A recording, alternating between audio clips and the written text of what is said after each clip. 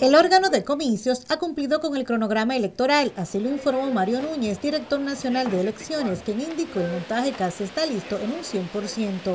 Desde el día de ayer, las juntas electorales se encuentran ya poniendo en manos de los presidentes y secretarios de colegio todo el material, las valijas, las casetas, las urnas. El Pleno de la Junta Central se reunió en horas de la mañana con los secretarios de las 18 juntas electorales que usarán el sistema de voto automatizado para escuchar sus necesidades y poder responder a todas sus inquietudes. Para tener de ellos un informe general de sus respectivas zonas. Además, para dar un seguimiento al proceso de instalación de los equipos, verificar que las condiciones eléctricas de los recintos estén eh, óptimas. En los comicios del domingo, los 7.487.040 electores votarán para elegir a los funcionarios de 3.849 cargos.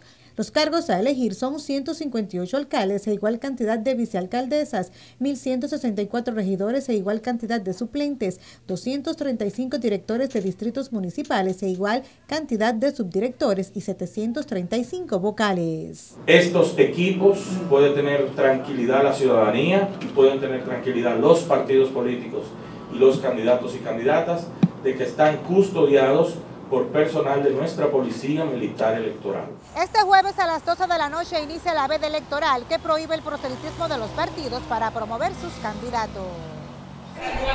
El funcionario informó además que el Poder Ejecutivo puso a disposición de la Junta Central Electoral los recintos públicos, así como el apoyo de vehículos en caso de ser necesario. A la vez, informó que a partir de este jueves empezarán a recibir los observadores internacionales. En nuestra emisión estelar de las 10 de la noche ampliaremos la información. Aris Beltré, Noticias SN.